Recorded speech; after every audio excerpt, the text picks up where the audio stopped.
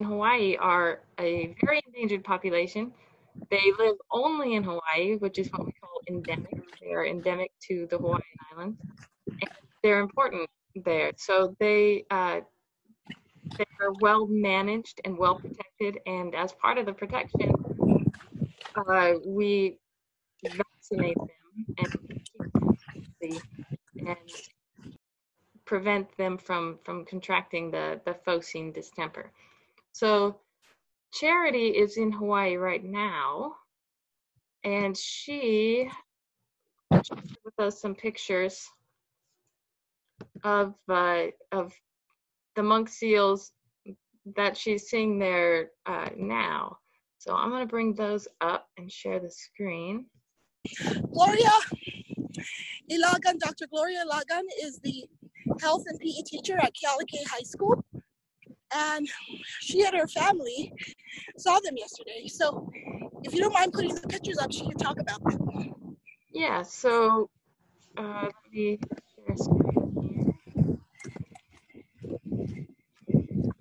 here. This is the mama and the baby seal, and they are sunbathing here in a state park called Kona Coast State Park, locally known as Mahai'ulas. They frequent here as well as the next door beach, locally also known as Kua Bay. Last time I saw uh, Mama Seal, they they name them by letters, not not any name. But um, I called her Moana because she was from the ocean. But this one is, it could be Moana or it could be another one. I don't know her name. But she is with her pup. And last time I saw Moana was next door and she was molting, getting ready to have a pup. So this could be very well her pup. Now, they are very susceptible to morbillivirus, or it's a, it's a virus that is rampant among monk seals as well as in whales. Here in the Hawaiian Ocean, um, there's a lot of development and runoff from the islands, and so monk seals um, become susceptible to them. They're also like people. If uh, if there is an outbreak, they can easily spread it by way of close contact and by sneezing.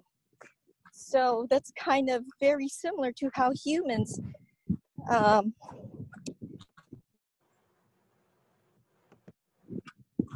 get the virus. So it'd be interesting to possibly someday get a mask for seals during an outbreak. But realistically, they vaccinate through a program which NOAA has um, put together in 2015. And it's a research program to gather data and protocol on how to vaccinate the seals because currently they're doing it in 2015, they're doing it only with captive seals. But now they are doing it. Miss Charity? They were doing it to seals that were native in their population. And um, as you see, I think previously we had a video clip from National Geographic on how the researchers would approach the seals and vaccinated them with a long, long stick. Um, the morbillivirus, that uh, the that virus that kills the seals are also they're very common to dogs, like you were saying before, because sometimes dogs that are loose get onto the beaches and then they infect the seals.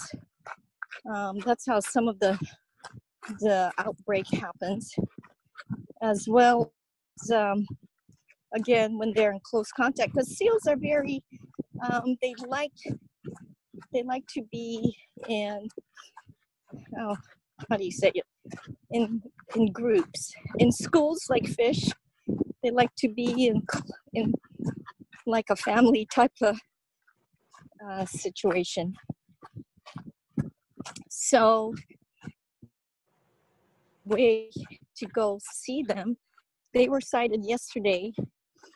Uh, they didn't come out early in the morning so they finally came out like three o'clock in the afternoon when we were about to leave. So they may or may not be here but you know the seals have their own their own time to sunbathe to eat and they i i think they they may be we're hoping we can see them because we're on our way to go see them on the beach and it's a 20 minute hike to go see them. And the parks are closed because of covid and they want to make sure that that when they protect the seals there's a voluntary program called kekai ola which means healing from the sea to uh, protect the monk seals. We have volunteers throughout the community who are trained to educate the public about keeping their distance again social distancing from the seals and to let them be and not harass them because they just really like to just like everyone else sunbathe in the sand and um, the only way that we can really um, learn about them is to be educated. And also, we have a marine mammal hospital here locally where we were the other day, but we couldn't find any researchers because they were busy feeding the pups and taking care of the animals. So that marine hospital was closed, but they did tell us that they did sight a monk seal here at this property, which is several miles away from the facility. So you weren't able to walk to where they are. But here we are now at the beach. There should be signs. Took a picture of the sign. Do you have that sign up? Yeah. Okay. The sign, if you go close to the sign, it'll tell you. See that? Can you read that? It'll say that there is a monk seal and that um, you should not harass them. Yeah, it says, please I believe they're from a safe distance, report seal sightings. Yes, there is a hotline to call whenever residents or visitors see the seals on shore because they come they come randomly and we don't know exactly what time or where. Right. But if you see one, there's a hotline that people can call and then the volunteers will go and put a put a sign up and and people can still view them as long as they do their safe distance right. social distancing. So uh, and let me show you sorry. Uh-huh. Go ahead. Uh, aside from the respiratory illness like you said sneezing on each other uh, are there other symptoms of this morbillivirus the the phocine distemper that that are make would make people aware that that those animals might be sick well, the only way they'll know, I guess, is if they're they start dying, and we don't want to find out that way. And so, what they do is trying to do the preventive. The preventive measure is to give them vaccinations, and what the vaccination is, in order for them to get full vaccination, they have to be vaccinated twice within a four week period. So just like humans, uh, we have to get vaccinated to get to prevent the illness from spreading. It's so that the the animal, the mammal, can can build antibodies And it's been shown that those in captivity are less prone to to catching the disease because of the vaccination. Okay.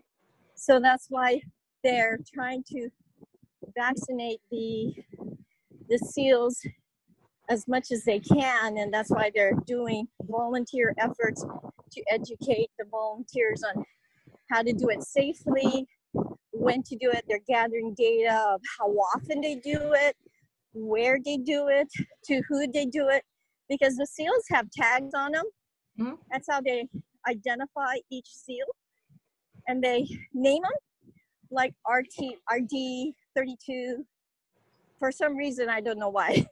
Yeah. they I I named one Moana. And then um there are different seals with different places.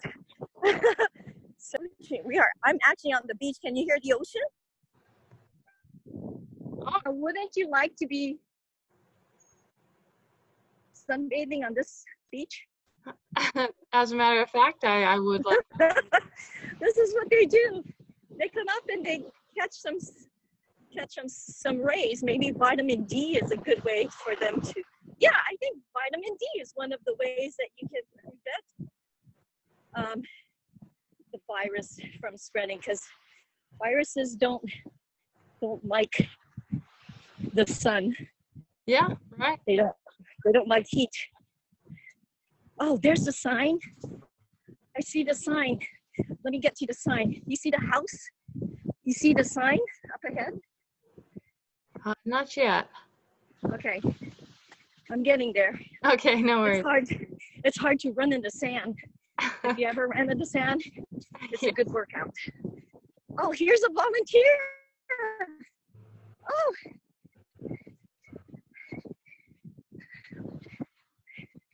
Are you a volunteer? Are you the monk seal volunteer? Oh, yes. Can we interview you? Oh. She's safe. Oh, there she is. Look, she's in the ocean. Can you see? And this is as close as we can go. You see her?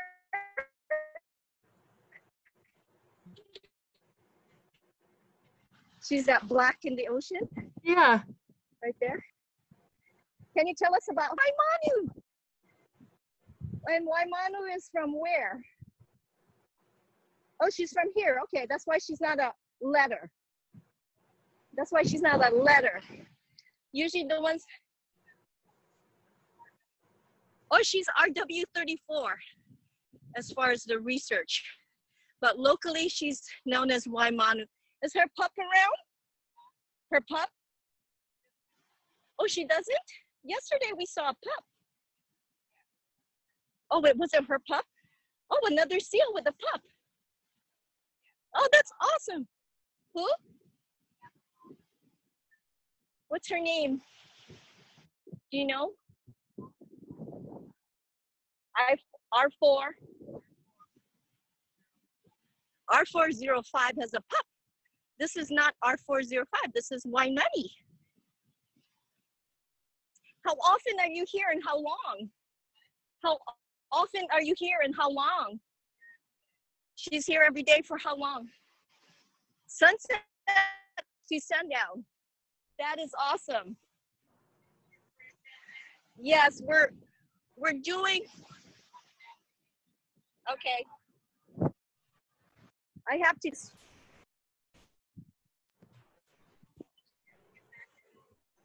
I'm gonna go back. Oh, do you see her? She's looking up at us. Did you see her? yeah. Yeah. I'm gonna go back up because I have to tell. I have to be back a certain distance because they don't let us stay close to her. Yes. Right. Oh, she's smiling at us. Oh, that is so cool. She might come up to sunbathe. Okay, she told me to stay very still and not move. Look. Isn't that beautiful?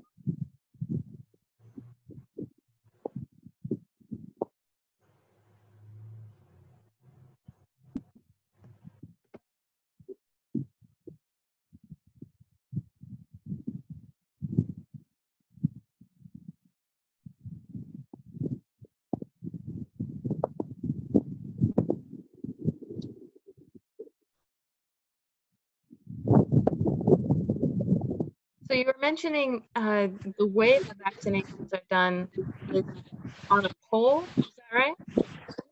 Yes, it's like a stick. It's a pole of about maybe five feet. And what researchers do is they stick it to the uh, the seal to vaccinate them, and it doesn't really hurt them that much. It probably like a a pinprick. There might be some swelling involved, but basically they'll just mark at the researcher and then they quit poking. Because the, uh, the animals is identifiable, they can follow up and make sure there weren't any ill effects of, of vaccination or any kind of complications. Well, no, I I believe that they know the right amount of dosage to give them so that they will have sufficient amount to protect them Okay. until the second shot. And so they they've been gathering data on how long the vaccine becomes effective and how often they have to give them and how much to give them.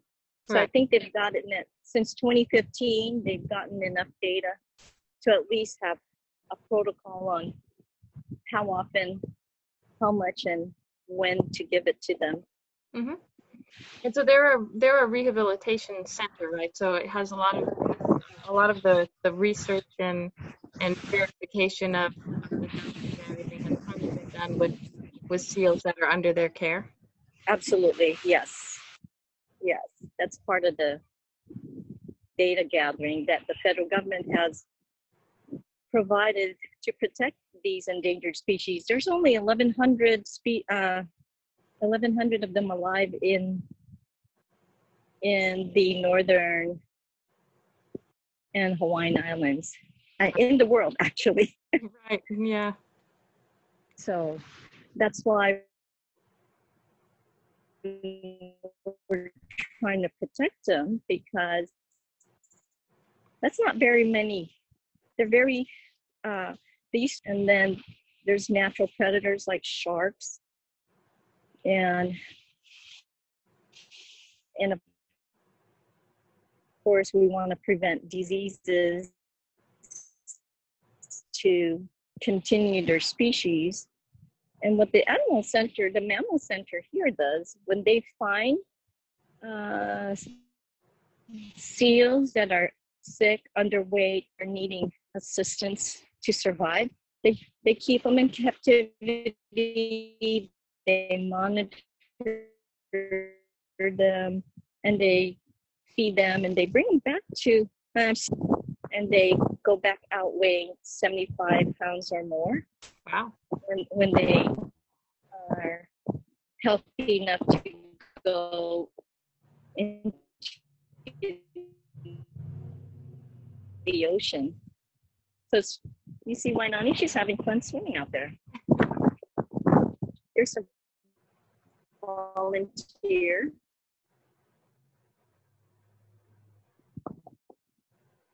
See, they have a uh, binocular so that when they sight it, when people come, she'll she'll direct them. You can't walk on the beach, but you are allowed to observe them, like we are right now. And so, isn't it cool? We see a endangered species in their natural environment, having fun in Hawaii. so there are two seals. Yesterday, um, we saw another another seal with her pup, and this is not the one. This is Wainani. She's she's a different seal than we saw yesterday. So apparently, this is their favorite swimming spot, I, I guess so. Yeah, that kind of highlights. and I don't blame them. when you say there's only 1,100 left in the world, and